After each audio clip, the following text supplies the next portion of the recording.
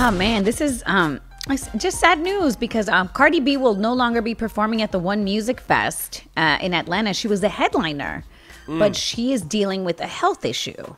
So she apologized to fans, um, saying that she's recovering from a medical emergency and is focused on getting better. But um, I mentioned it earlier, but you know, I saw her, you know, post like you know a little funny IG story from a hospital.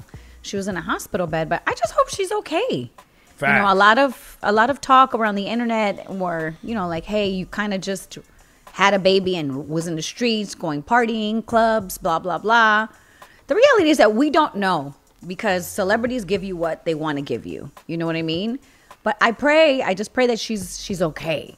Well, when you say we don't know, meaning we don't know if she had a med- medical emergency or that's confirmed. We don't know why she's in the hospital. Exactly. We don't Got know why Okay, she's in the hospital. People are just speculating, saying, look, this is what happens when you have a child and then you feel okay at the moment and have pressure to like look a certain way and then get out there and just party and, you know, drink and do XYZ when you're not fully healed.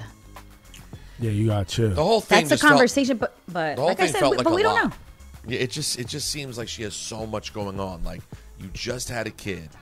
Your marriage appears to have really blown up. You know, it's certainly more so than any other time. Because she, her, they've been going back and forth in the nastiest of ways. So you have a brand new newborn, Yeah. and you're going at it like cats and dogs with the father of that newborn. Plus, you're outside. She, she was talking about partying in L.A. It just she does. She needs to sit down. She really does need to chill out for a little bit. I hope she can get some rest and have some people Yeah. around her to give her love and take care of her a bit. It seems like she needs it. Yeah, bottom line, I think we just all hope that she's healthy and strong and just wish her the best. That's your Flashing Lights report.